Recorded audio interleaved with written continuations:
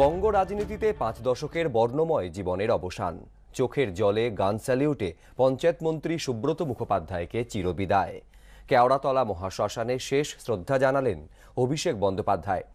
আজ piece world থেকে সুব্রত মুখোপাধ্যায়ের মরদেহ সকালে আনা হয় রবীন্দ্র সদনে।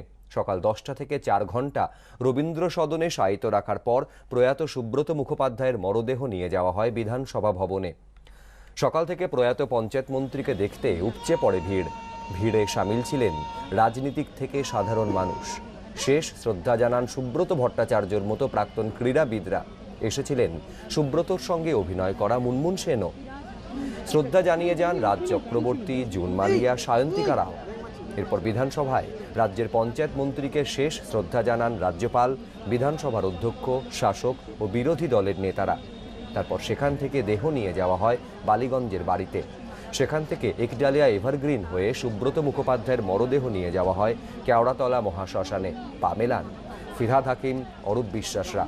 কেওড়াতলা মহাশ্মশানে গান স্যালিউটে চিরবিদায় জানানো হলো সুব্রত মুখোপাধ্যায়কে।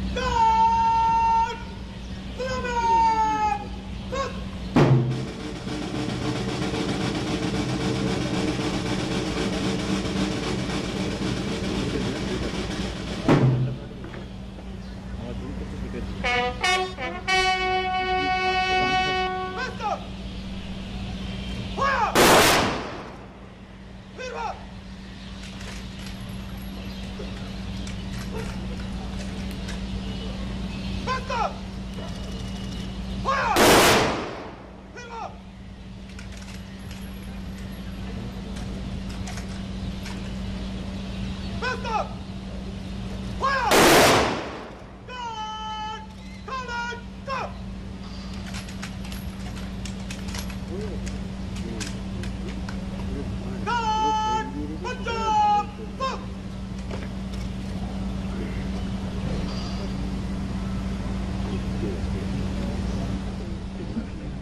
সত্য অন্তহীন।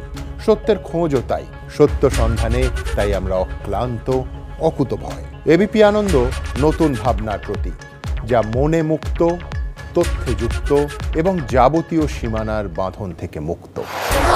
সীমা না, শব্দটির মধ্যে লুকিয়ে আছে মানা শব্দটি, যেন চোখ রাঙানি, এক অদৃশ্য বেড়াজাল, যা আটকে রাখে আমাদের এক ছোট্ট গণ্ডির মধ্যে। একমাত্র সঠিক খবরই গড়ে তুলবে এক মুক্ত সমাজ। সেই জগৎ গড়ার লক্ষ্যে কোনো সীমানার ঠুকুটি আমরা মানব না।